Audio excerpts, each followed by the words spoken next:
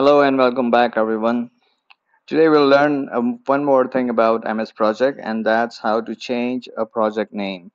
So over here you can see I have a project defined in front of me and the very first task or the summary task is actually the project name.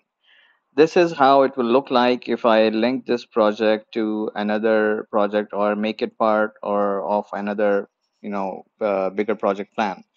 However, it's always better to have a more descriptive name so it's easier to understand what this whole project is all about.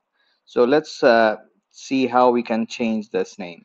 So firstly, we'll head over to the file menu and go select the information or info section. Over here, you'll see the project information, which is showing you the overview of the project. If you select this small arrow it will give you a drop down of advanced properties and project statistics. If you select advanced properties over here, you can see the project title. Now this is the area that's showing you over there. So let me give it an um, a descriptive name.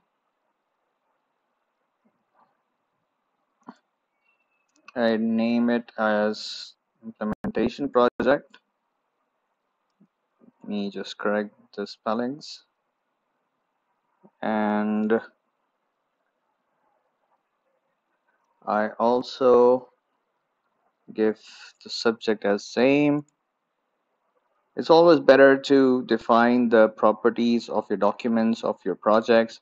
So it's uh, easier for anyone who's opening it up or who's uh, who's not aware of who's created this to you know uh, have an understanding of uh, what this project is all about and who has worked on it. So you can give it a category. This is usually helpful for Windows to search. You can also give this description over here.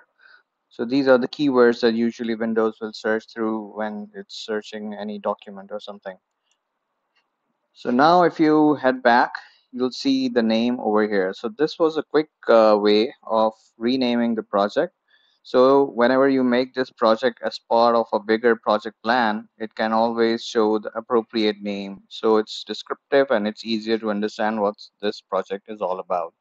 So this was a short video for today. I hope uh, this little tip will be helpful for you. So keep subscribed to the channel and do like the videos if you are finding it more helpful for you. Take care and Allah Hafiz.